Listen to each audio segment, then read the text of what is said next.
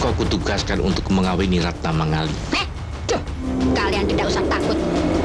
Di negeri ini tidak ada orang yang lebih sakti dari aku. Karena akulah Ratu Sakti Calon Arang, Sabtu jam 8 malam di ANTV.